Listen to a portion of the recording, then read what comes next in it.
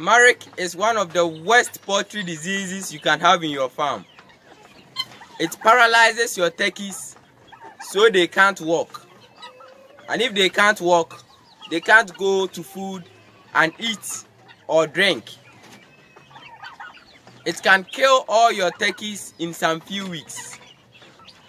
It is caused by a virus and it is very difficult to treat. But by some management, I've been able to treat it twice when it occurred in my farm. That's really amazing. I really don't know how it worked, but it worked. So quickly, let's check it out. My name is Henry Osubuache and welcome to HOB's Ranch. In HOB's Ranch, we give important poultry tips on how to raise healthy and happy guinea fowls, turkeys, and chickens. So please subscribe to this channel so you don't miss out on any important poultry tip. One day I noticed that this chicken can't walk when it was in the coop. Knowing very well that it was Marek, I quickly brought it out, isolated it and took it outside. I brought it out where it could receive sunlight and fresh air. That wasn't my intention though. My intention was to isolate it. In about two hours, I went back to check on it and I saw its condition has really improved. In the coop, it couldn't walk or move. It was just lying down. But when I brought it outside and waited for about two hours, it began to move and its walking really improved. It could walk some few distances, so I took it back in the brooder house. I thought it was getting better.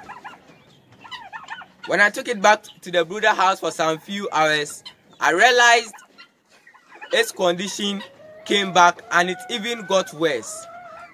I also noticed that it wasn't just this particular chick, but it was also, it had also affected some turkeys. So these baby turkeys could also not walk and the disease had affected them all. So since I took the black chick out and it got better, I decided to take all of them outside. Perhaps doing that would make them get better. And yes, they did improve. In some few hours, just by taking them outside of the coop, they began to get better. So I decided to keep them outside where they got fresh air and sunlight. I somehow think that their healing is because of the sunlight, but I'm not very sure about that. In some few days, their condition improved and they could walk some long distances and their movement also was very good. So seeing that these turkeys were able to walk really showed signs of healing. I didn't give them any medication. All I did was provide them with food and clean water. I didn't even give them vitamins. They seemed to be able to heal on their own. In some few weeks, it happened again with these black and white turkeys. They also couldn't move, so I quickly took them out and tried my luck once more. And voila, it worked. Yes, it worked again. Just by taking them outside, their condition really improved. And today, they are also getting better. They're actually the ones behind me right now. Here is the white, and that's the black.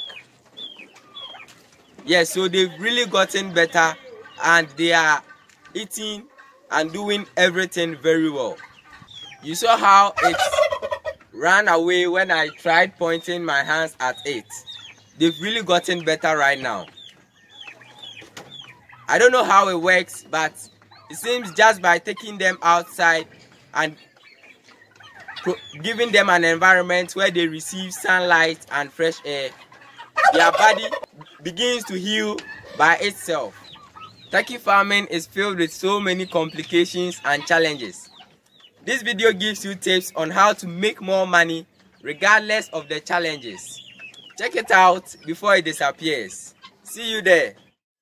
And don't forget to like this video. It really helps promote the channel.